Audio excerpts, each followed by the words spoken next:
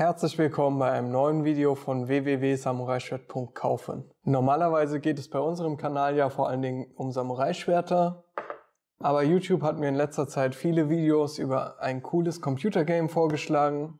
Deswegen tausche ich heute mein Schwert gegen eine Maus und wir schauen uns zusammen das Videogame Katana Zero an.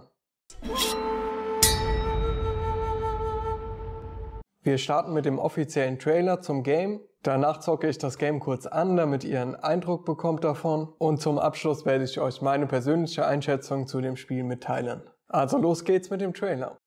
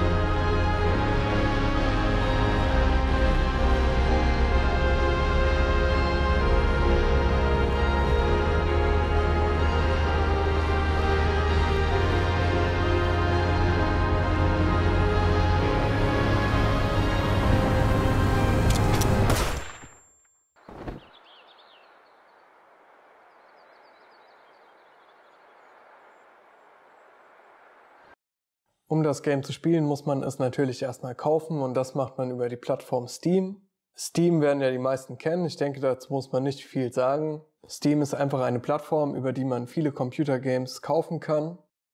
Über die Suche findet man dort Katana Zero. Man sieht hier, der Preis liegt bei etwas über 12 Euro. Okay, hier läuft dann auch nochmal direkt der Trailer. Ich möchte es direkt kaufen, genau. Hm, ja, für mich selbst natürlich.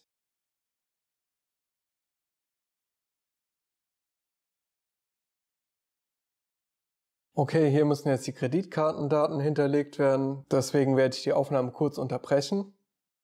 Ich kaufe das Spiel jetzt einfach, noch kurz die Daten eingeben, dann auf Kaufen klicken. So, hier kann ich jetzt meinen Kaufbeleg einsehen. Und das Spiel finde ich ab dann in meiner Bibliothek. Natürlich muss ich es erstmal runterladen und auf meinem Computer installieren. Das müssen wir uns ja nicht unbedingt zusammen angucken, deswegen melde ich mich gleich wieder. So, das Game ist jetzt auf dem Desktop verlinkt.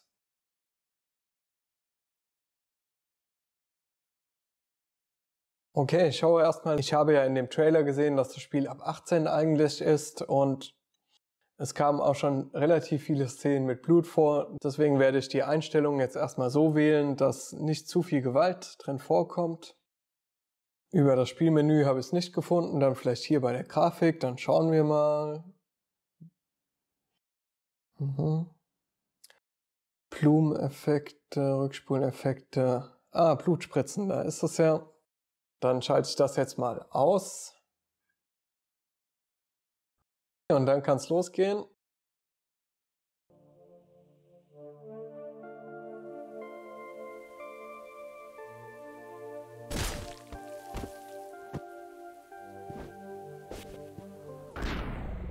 Es geht mitten in der Story los. Ich starte damit, eine Kugel mit dem Schwert abzuwehren. Das ist natürlich schon mal ein guter Einstieg.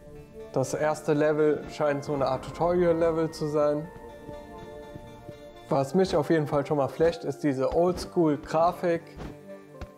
Erinnert mich persönlich an Monkey Island, für die, die es noch kennen.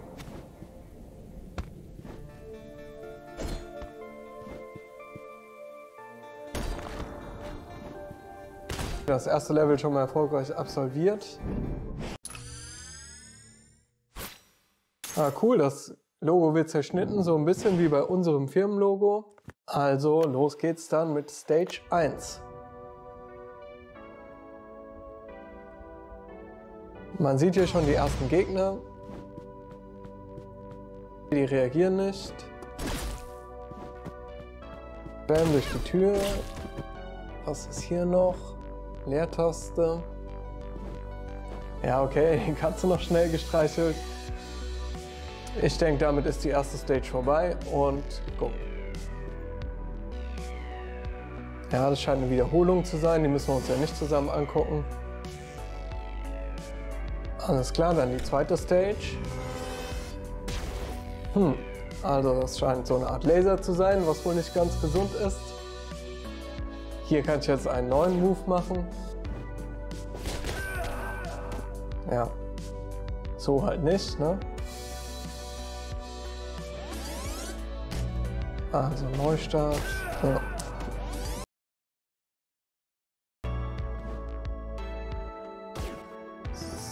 Jetzt noch den und jetzt noch die letzten. Gut, scheint jetzt auch nicht gewesen zu sein. Also.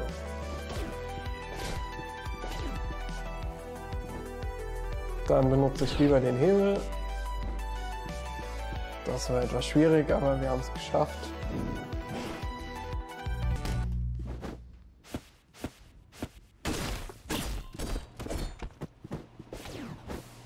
Die Wand hochspringen. Ventilator. Hier kann ich jetzt Shift drücken. Mhm. Mit Shift gibt es anscheinend so eine Art Verzögerung.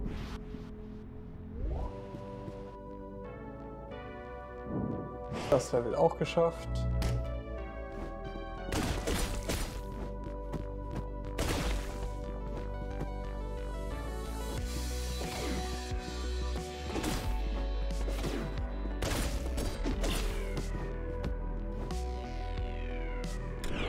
Das Ziel der Mission ist übrigens, den Doktor zu befreien. Ich denke mal, das ist der Kollege hier.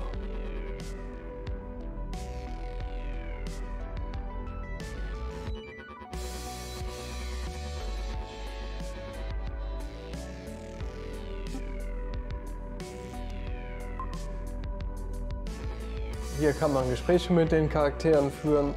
Erinnert mich alles so ein bisschen an diese ganzen Oldschool-Games. Falls ihr die noch kennt, noch aus den guten alten Zeiten, als Spiele noch auf diesen Disketten waren, wo dann immer nur 1,4 Megabyte Speicherplatz vorhanden waren. Die Szene musste ich kurz rausschneiden aus Jugendschutzgründen.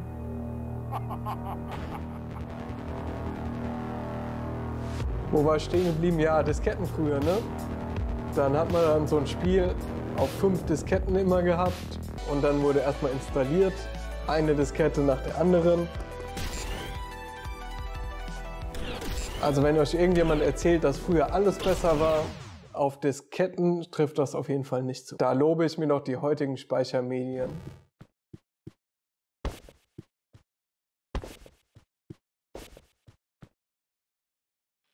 Wiederholung überspringen. Jetzt ist der Tag anscheinend vorbei und hier sind wir jetzt in unserer Wohnung. Kräutertee trinken. Ja, kann ja nie schaden. Was kann ich hier noch so machen in der Wohnung? Nebenan übrigens voll die Party.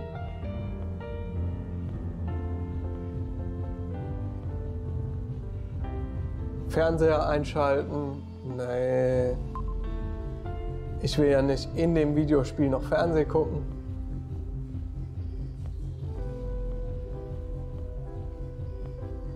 Sonst kann man hier aber leider nichts machen in der Wohnung. Gut, dann schalte ich den Fernseher halt doch mal an. Anscheinend direkt Nachrichten. Zwölf Menschen, ja, dann gehe ich doch mal schlafen.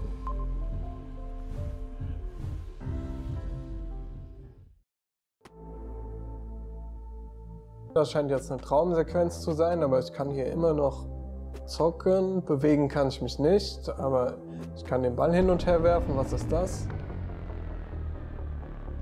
Okay. Gut, also ich bin aufgewacht, ein neuer Tag. Mal schauen, was der bringt. Bitte kommen Sie rein und setzen sich, alles klar.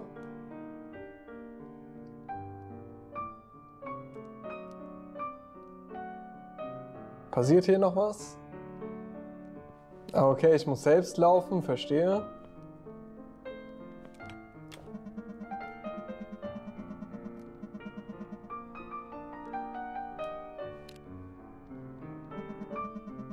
Ja, auch hier wieder die Gespräche, die man aus so Oldschool-Games halt kennt.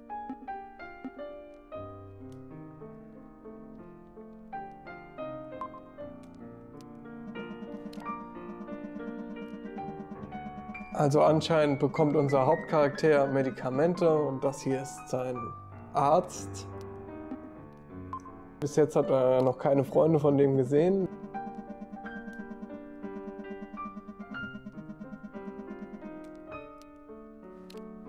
Genug geredet. Der Kollege hier sieht aus, als würde der dringend Medizin brauchen.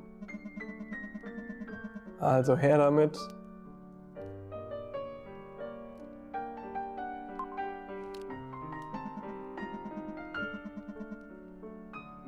Ich hole hier ihre Akte.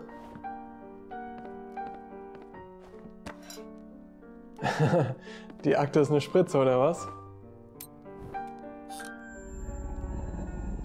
Das sieht ja schon mal gut aus.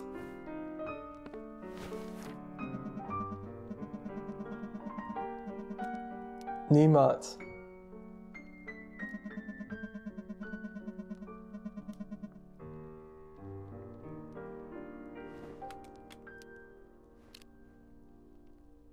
Also jetzt muss ich anscheinend wieder selbst laufen und zur Tür.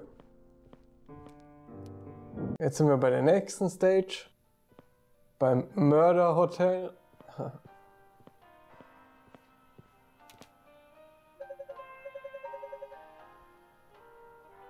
Ich will jetzt hier eigentlich nur vorbei. Mal schauen, wie das relativ schnell zu lösen geht.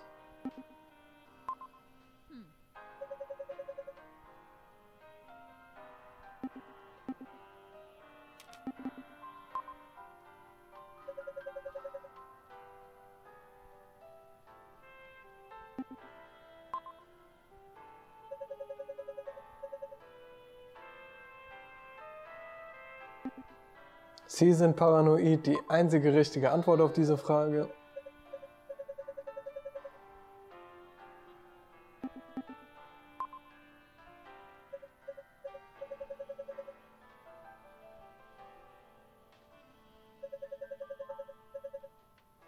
Na, dann versuchen wir es halt mit einer anderen Antwort.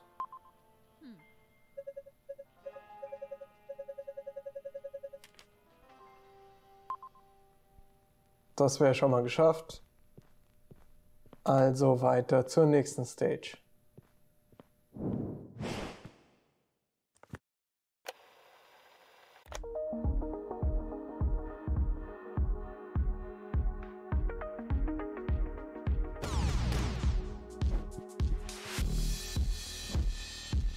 So, der Aufzug kommt runter. Mal schauen, wer da drin ist.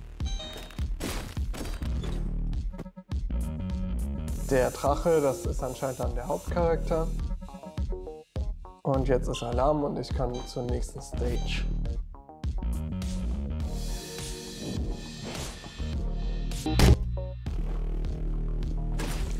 Das kennen wir ja so langsam. Ist hier noch eine Muschi zum Kraulen. Nee, keine Katze da. Also auch weiter zur nächsten Stage. Ah, hier ist jetzt eine neue Art von Gegner. Was hat er in der Hand? Sieht man nicht so richtig. Hm. Ich versuche mal einen alten Schwertkämpfer-Trick ausweichen. Ja, hat geklappt.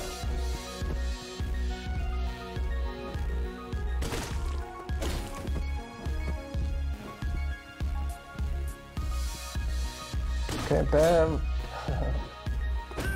hm. Ja, okay, ich denke, das reicht. So, ich denke, man hat jetzt einen Eindruck über das Spiel bekommen. Dann schauen wir uns an, wie ich das Spiel bewerte. Das Spiel hat nicht unbedingt das Ziel, realitätsnah zu sein. Man spielt einen fiktiven Charakter in einer fiktiven Welt. Die Moves und so weiter, die man mit seinem Schwert machen kann, sind alle nicht so ganz, wie die in der Realität wären. Deshalb kann ich in diesem Punkt leider nur zwei von fünf Punkte vergeben. Die Story ist sehr kreativ, mit vielen interessanten Details und die Spieleentwickler haben wirklich ganze Arbeit geleistet. Dafür gibt es von mir 5 von 5 möglichen Punkten. Der Spielspaß kommt auf jeden Fall nicht zu knapp bei dem Spiel. Im Endeffekt ist es natürlich ein 2D Jump and Run und die einzelnen Situationen wiederholen sich ständig in dem Spiel. Insgesamt würde ich das Game also so beurteilen. Für den günstigen Preis, für den man das Game bekommt, ist es auf jeden Fall die Investition wert. Okay, so viel zu Katana Zero. In unseren nächsten Videos geht es auf jeden Fall wieder um Samurai-Schwerter. Also dann bis bald.